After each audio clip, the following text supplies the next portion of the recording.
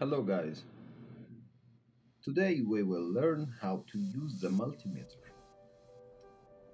Before getting started, I would like to tell people who don't know what is the multimeter. It's a very important device helps you to measure voltage, resistance, current and capacitance. If we take a closer look to see what the multimeter consists of, we will see digital screen displays the readings, cursor, lead connectors for connecting multimeter wires. So, first let's talk about symbols appear on the multimeter. Connector marked with COM is the common connector that we will attach the black wire and never remove it. The next connector on the right marked with three symbols. Diode for diode measuring and continuity. Ohm symbol for resistance measure.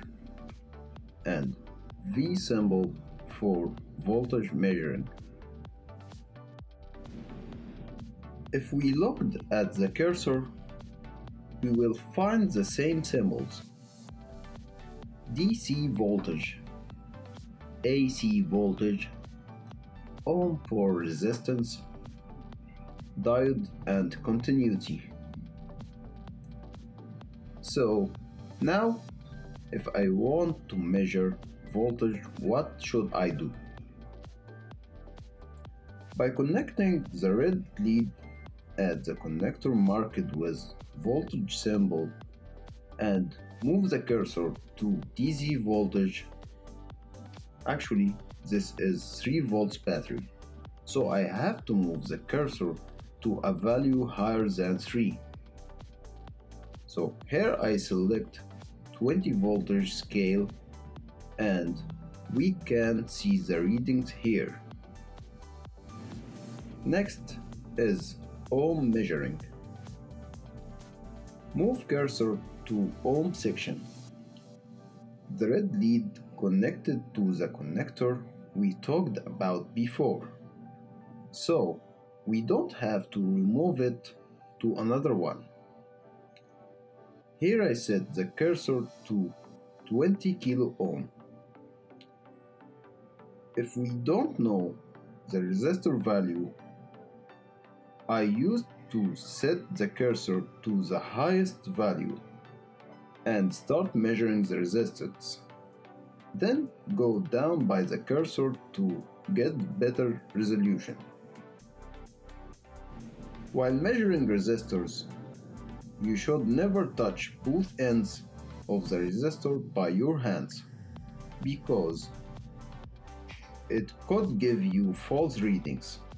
Here on 2 kilo ohm scale, it gives the finest resolution. So the next thing on this connector is diode measuring. Diode normally passes the current in one direction. To make sure it working by multimeter, set the cursor to diode symbol and start measuring the diode. It gives readings when connected in right direction only. Negative to negative and positive to positive. In wrong direction it will not give readings. So this one is working great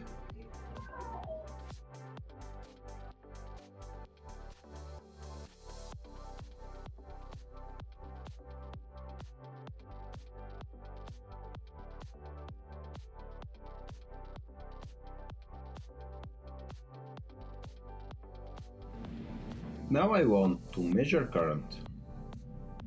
Move the cursor to the highest value as long as you don't know what is the value of current that you are going to measure. Then connect the red wire to 20 amps connector.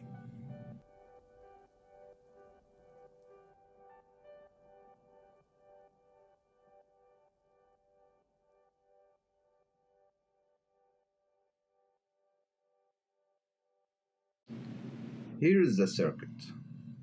And for sure, this circuit is not draining even 1 ampere. If we looked at the circuit, it's working right now, so when I'm going to measure the current, it's not possible to do this while the circuit is closed. Open the circuit and close it by the multimeter itself. Here there is no readings because the current value is too small. Now I need to move the red wire to milliamp connector and set the cursor to 200 milliamps.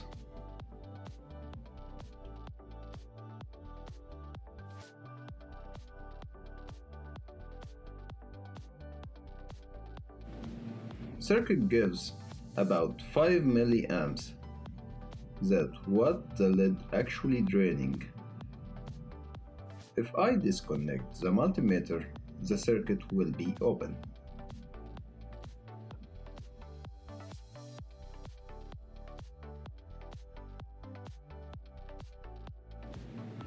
This multimeter also can measure capacitance. Here on cursor, you can see the highest value is 200 microfarads, then 20 micro, 2 micro, 200 nano, and 20 nano. Here I have a capacitor, and I want to make sure the value is right or not. This cap value is 100 microfarads.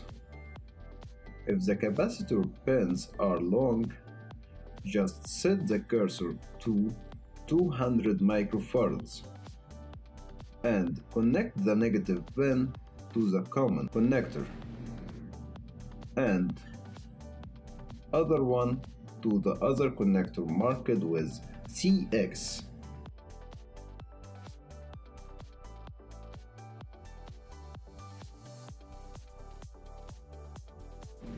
and here it gives exactly 100 microfarads.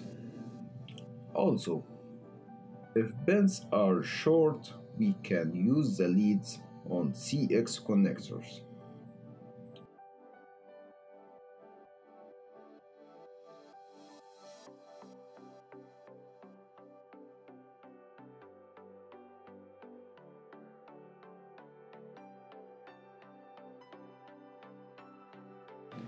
Now we have done this tutorial.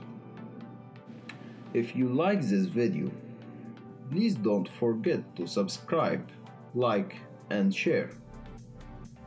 Thanks for watching and see you next time.